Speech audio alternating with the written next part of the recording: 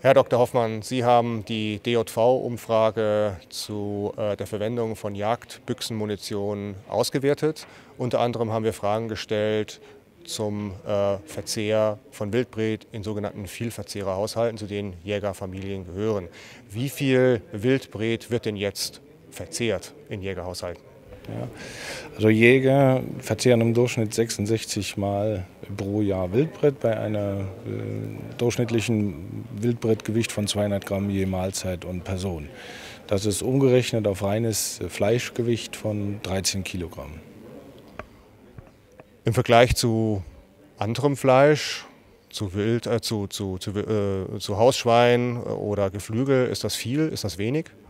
Also wenn wir das auf die Bundesebene projizieren, was der deutsche äh, Bürger pro Jahr an Schweinefleisch äh, zu sich nimmt, ist es relativ wenig. Da sind wir im Durchschnitt bei über, weit über 30 Prozent, annähernd, annähernd 40 Kilogramm, nicht Prozent. Ähm, da sind wir mit den 13 Kilogramm Wildbret deutlich unter dem durchschnittlichen Schweineverzehr. Aber wenn wir es vergleichen mit Hühnchenfleisch oder Geflügel insgesamt und Rinderfleisch, die liegen bei äh, deutlich unter den 13 Kilogramm, was die Jäger an Wildbret pro Jahr essen. Jetzt äh, wurde hier bei der Veranstaltung vom BFR auch ähm, erwähnt, dass weiterführende Studien notwendig sind. Stichwort ist die Bleiexposition, also die Aufnahme von Blei ähm, durch den Menschen über Wildbret zum Beispiel. Was halten Sie davon?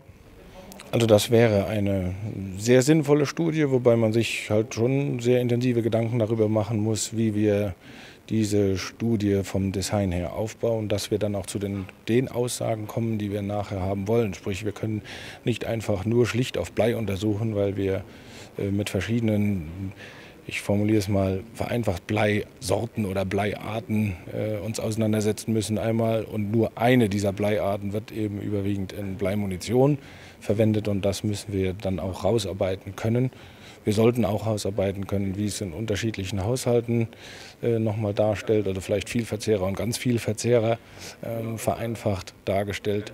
Und wenn wir Blut ähm, als äh, Basis nehmen dafür, um festzustellen, ist der Mensch bleibelastet oder nicht, dann müssen wir uns auch überlegen, ob wir das vielleicht mehrmals pro Jahr äh, eine Blutentnahme machen, äh, weil über, im Blut natürlich auch übers Jahr hinweg der Blutbleigehalt sehr unterschiedlich sein kann. Wären denn die Jäger grundsätzlich bereit, an so einer Untersuchung teilzunehmen? Also ich gehe davon aus, zum einen, weil ganz viele Jäger sicher die Brisanz des Themas und auch die Notwendigkeit des Themas erkannt haben.